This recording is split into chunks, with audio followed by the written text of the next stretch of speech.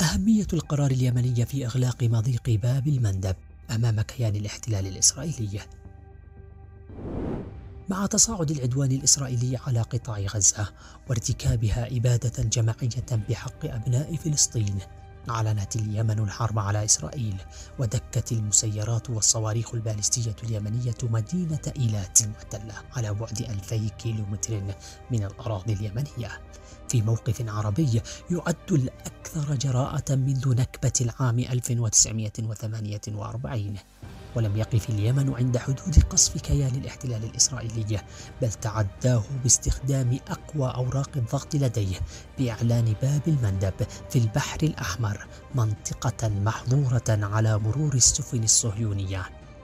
وقد هددت صنعاء بقصف أي سفينة إسرائيلية تمر من مياه البحر الأحمر. فما هي نتائج هذا القرار التاريخي؟ وهل شكل ضغطا على الكيان الصهيوني؟ الإجابة على هذا التساؤل يجب أن نعود قليلا إلى الوراء وبالتحديد إلى العام 1973 اشتعلت المنطقة بحرب ضد العدو الإسرائيلي عرفت بحرب أكتوبر وقد صمدت الجيوش العربية في سيناء بمصر وفي الجولان بسوريا بينما قامت اليمن حينها بإغلاق باب المندب أمام الملاحة الإسرائيلية.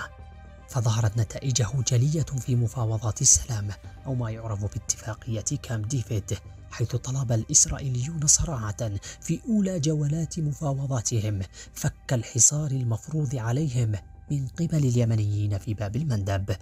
وكانت إسرائيل تستجدي واشنطن والقوى الغربية بالضغط لفك الحصار عنها من باب المندب ما جعل الحصار المفروض على السفن الإسرائيلية من اليمن عاملا مؤثرا من عوامل الحرب على إسرائيل فما أهمية باب المندب بالنسبة للعدو الإسرائيلي؟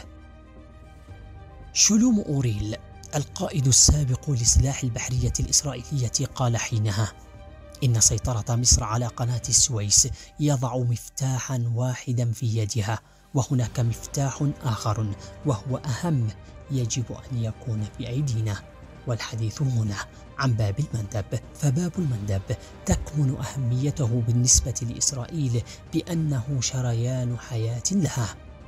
فهو المنفذ الوحيد لإمدادات النفط والسفن والتجارة والشحن من وإلى ميناء إيلات على البحر الأحمر. وقد تلقى الاقتصاد الإسرائيلي جراء إغلاق اليمن باب المندب في العام 1973 أمام سفنها وإمدادات النفط القادمة إليها في حينها من شاه إيران ولمدة 60 يوم.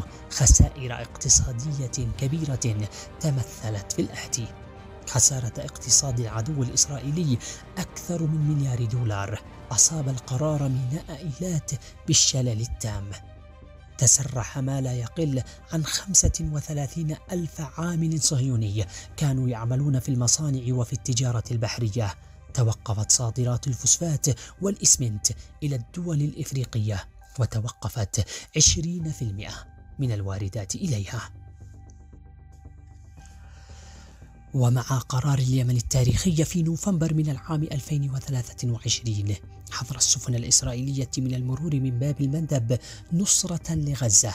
بدأت تظهر نتائج القرار اليمني التاريخي ومن أبرز تلك النتائج ارتفاع أسعار التأمين بعد أن تعيد شركات الشحن النظر في إجراءات تأمين النقل البحري إلى ميناء إيلات. بعض الشركات تراجع في هذه اللحظات إمكانية استمرارها من عدمه في الشحن نحو إيلات. القرار اليمني سوف يؤثر بطريقة غير مباشرة على الاقتصاد الدولي فالمنطقة بعد القرار اليمني باتت غير آمنة ما سيدفع شركات الملاحة إلى تأجيل بعض الشحنات أو اتخاذ مسارات بديلة. وذلك سيؤدي إلى رفع الأسعار بثلاثة أضعاف ما كانت عليه أثناء مرورها من باب المندب سترتفع أسعار الكثير من السلع داخل الكيان الإسرائيلي نتيجة ارتفاع أسعار الشحن. وستضطر سفن الشحن من وإلى الكيان الإسرائيلي إلى الدوران حول القارة الإفريقية ما سيؤخر وصول تلك الشحنات لمدة أسبوعين بما فيها ناقلات النفط المتجهة إلى إسرائيل. إضافة إلى عدة عوامل أخرى ستؤثر على الاقتصاد العالمي وستعمل على إرباك حركة الملاحة الدولية التي تمر بنسبة 80% من النفط و37% من سفن الشحن التجارية يوميا من باب المندب.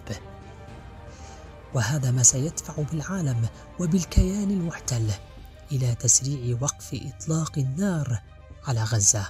وبهذا تكون اليمن وبقراراتها التاريخية ساهمت بالقول والفعل في وقف العدوان الإسرائيلي على أبناء غزة وفلسطين والضفة الغربية.